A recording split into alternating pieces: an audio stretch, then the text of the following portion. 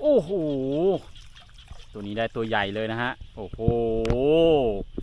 ไซส์สะบึมสะบึม อันนี้จะเป็นปลาปลานินนะครับผมไม่ต้องถ่ายคนเลยอันนี้ก็จะเป็นบ่อปลานะครับผมบ่อปลาที่เอ่ออยู่ติดกระท่อมสาวเมืองของผมนะฮะนี่เอาโอ้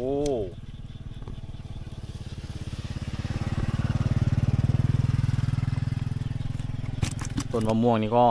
เป็นตลอดนะผมต้นมะม่วงนี่เป็นตลอดเลยนี่อันนี้ก็เริ่มเป็นแล้วครับ เริ่มเป็นแล้วแล้วก็บางลูกมันก็ตกตกลงไปยังให้นานะผมครับ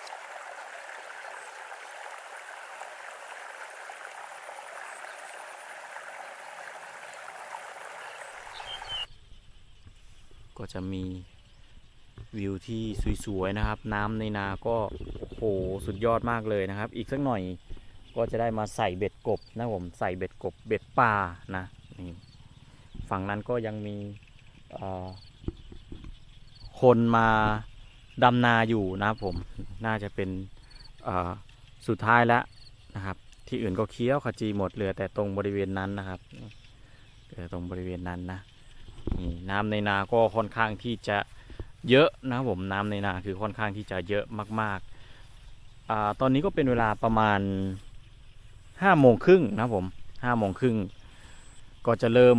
ได้ยินเสียงเขียดนะผมเสียงเขียดจีนาน้อยฮ้องนะครับ น่าจะลองอหากิ๊กหาคู่หรือหาอะไรสักอย่างนะครับ น่าจะเป็นแบบหาลองหาเพื่อนนะครับนี่บรรยากาศในช่วงเย็นๆคือ สวยนะผม แต่ว่าเเสียดายนะผมเสียดายไม่มีหมอกนะ ปกติหมอกจะไหลผ่านทิวเขานะครับไหลผ่านทิวเขาเลย จะเป็นหมอกที่สวยแบบสวยจริง ๆ นะผม ห่างจากภูเขาไปก็ราวๆประมาณสักสองสามโลนะผมถ้ามองจากมุมนี้ไปนะครับ คือมองจากสายตานี้ภูเขานี่ค่อนข้างที่จะสูงนะผมสูงใหญ่ แต่ว่าอันนี้จะเป็นกล้องที่เป็นกล้องมุมกว้างนะครับ ก็เลยจะเห็นภูเขาที่เเล็กไปนิดนึงนะครับบรรยากาศนะครับผม น้ำก็เยอะเยอะนะครับ น้ำก็มาจากน้ำคลองนะผมน้ำคลองที่อยู่ตรงบริเวณข้างบนนะครับผมข้างบนริมถนนนะครับ ก็มาจากอ่างเก็บน้ำนะครับ ผมก็มาจากอ่างเก็บน้ำนะช่วงนี้ก็จะดำๆหน่อยๆนะครับ พออยู่ในช่วง อ่าทำนานะครับนาก็ใกล้จะเสร็จแล้วก็ต้องรีบทำนะผมรีบทำจะได้ขึ้นไปเก็บเห็ดนะผมเห็ดพึ่งอ่ากำลังออกนะผมก็กำลังบ้านผมเรียกว่าออกหยายออกหยายก็คืออภาษากลางน่าจะออกเออภาษากลางผมก็ไม่แน่ใจนะบ้านผมเรียกว่าออกหยาย ผมก็ไม่รู้จักว่าจะอธิบายในการออกหยายของผมยังไงนะครับ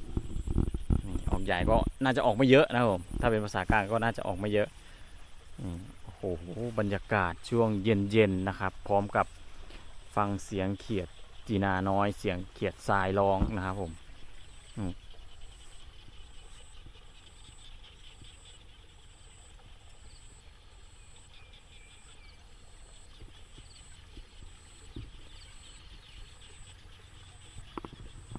โอ้โหนา นาให้นี้นะผมนาให้นี้ก็คือ น่าจะหอยมะหอยกินนะผมน่าจะหอยกินคือข้าว รู้สึกว่าข้าวมัน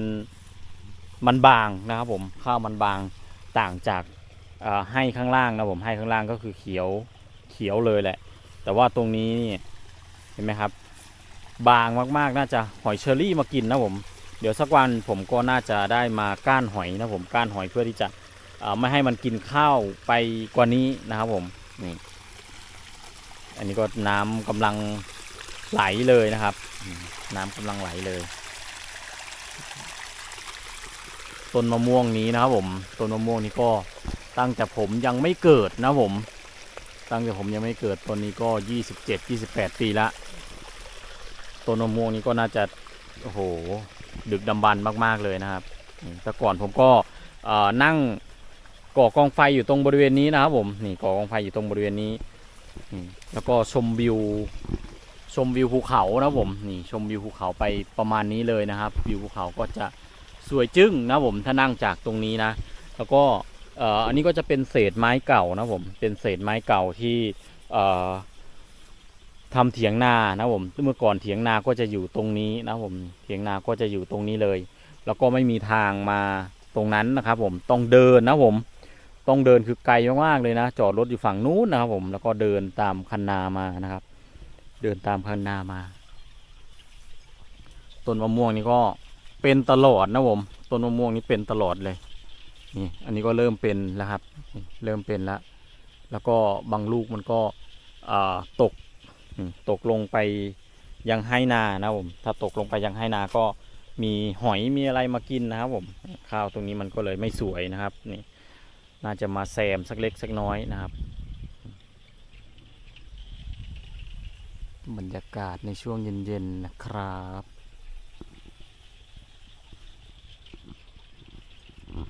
สวยมากครับผมสวย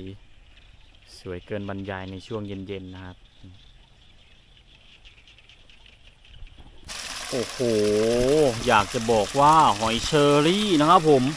เพราะว่าทำไมข้าวมันบางบางนะครับ นี่ สาเหตุมาจากนี่นะครับผม ตัวร้ายเลยนะฮะที่มากินข้าวนะ โอ้ตัวนี้ตายแล้วนะครับ เนี่ยตัวนี้ยังไม่ตายนะครับหือ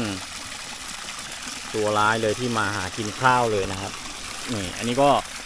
เป็นไข่หอยเชอรี่นะผม อันนี้เป็นไข่หอยเชอรี่นะนี่อันนี้จะเป็นไข่หอยเชอรี่เลย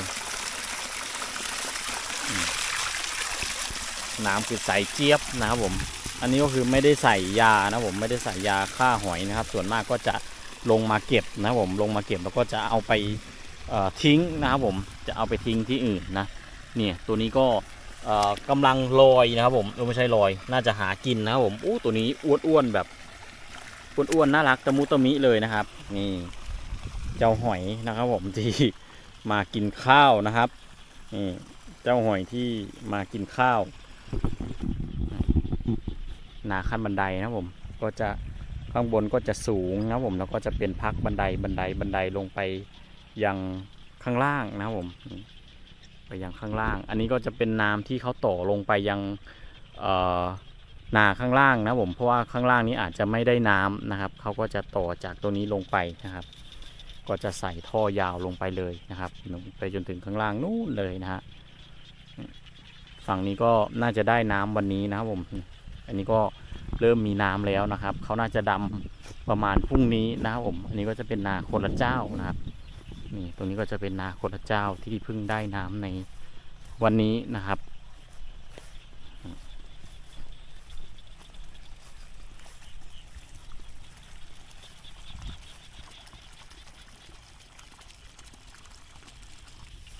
ฝั่งทางนี้คือข้าวงามมาก ๆ เลยนะครับ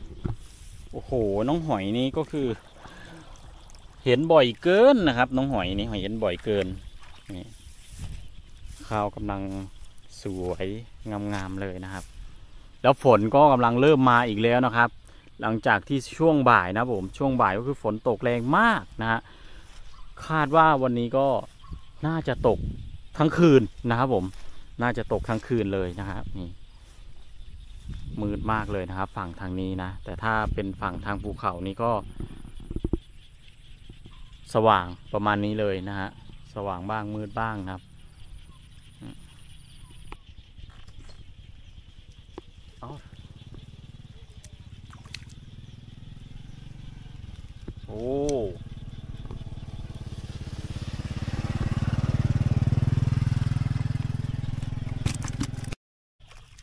โอ้โห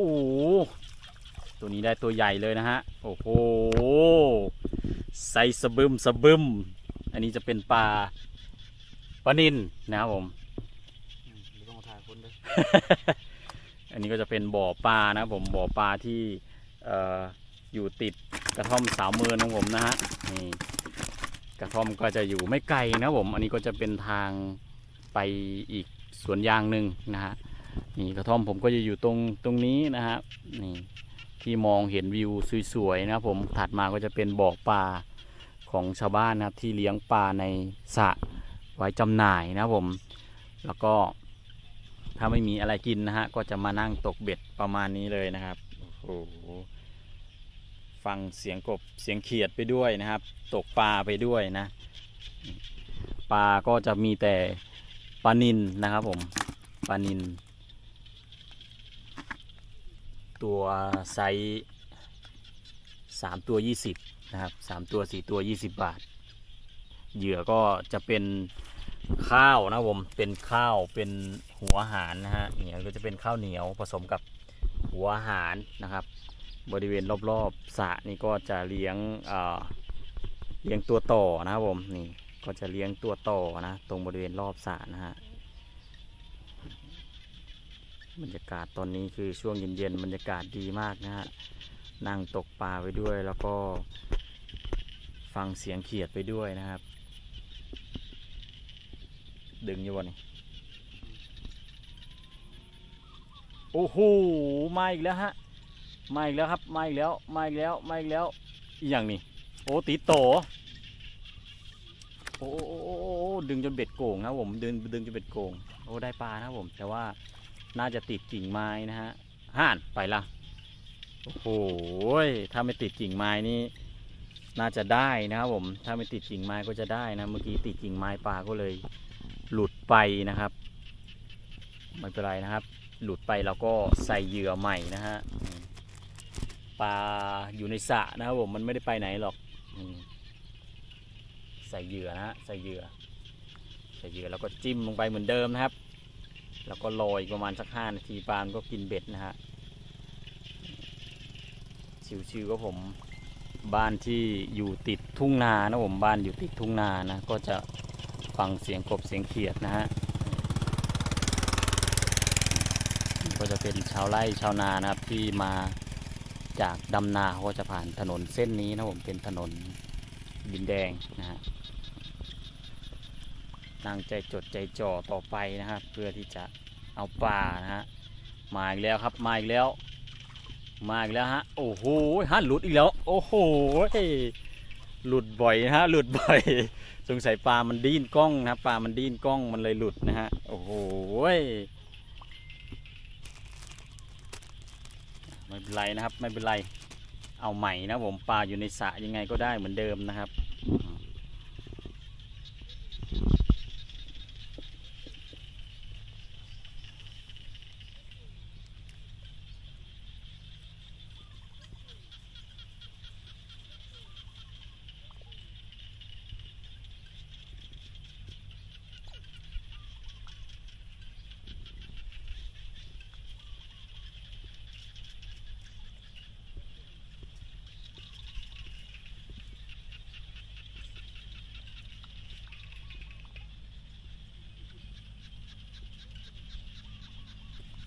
โอ้โห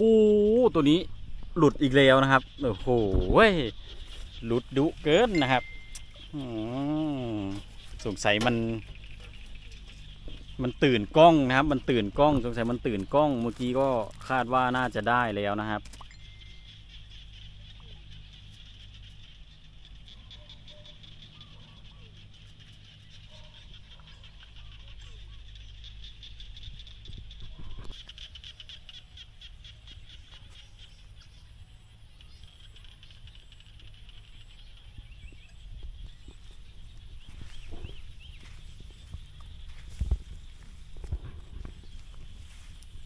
โอ้โห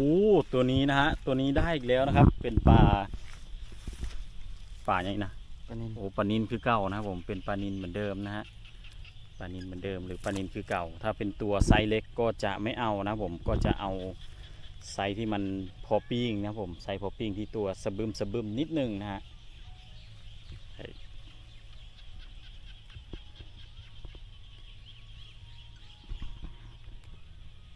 โอ้โหไซนี้เอาจะบอกไซนี้โอ้ไซนี้เอานะครับผม อันนี้ไซที่พอเอาก็จะทิ้งลงไปในกระมังเลยนะฮะ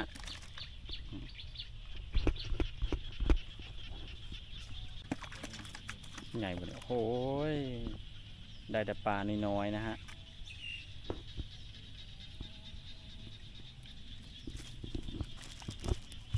โอ้โห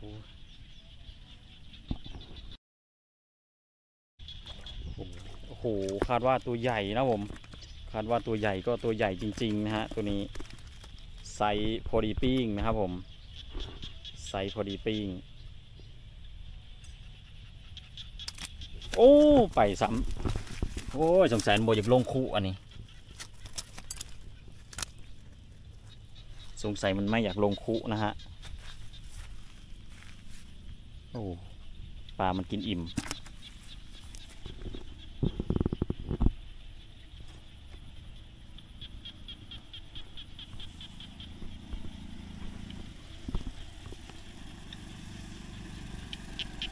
อยากกินผักก็เอาตามคันสะนะครับนี่คันสะก็จะมีมะม่วงด้วยนะครับผมมะม่วงแล้วก็ผักชนิดอื่นๆ อีกฝั่งนู้นนะครับผม แล้วก็บวกไปถึงหญ้านะครับผมหญ้ารกมากนะแล้วก็จะมีตัวต่อนะผมตัวต่อที่อยู่ตามริมสะ ก็นำมาปล่อยเองนะผมเอาลังน้อยๆมันมาเลี้ยงนะฮะนี่